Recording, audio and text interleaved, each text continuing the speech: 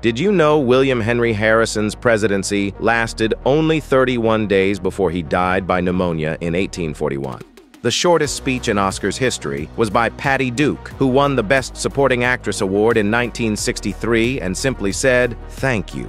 The shortest marriage ever, lasting mere minutes, was between Lord Francis Hope and actress May Yohe in 1899. Now your turn. Share the shortest meaningful comment about this video.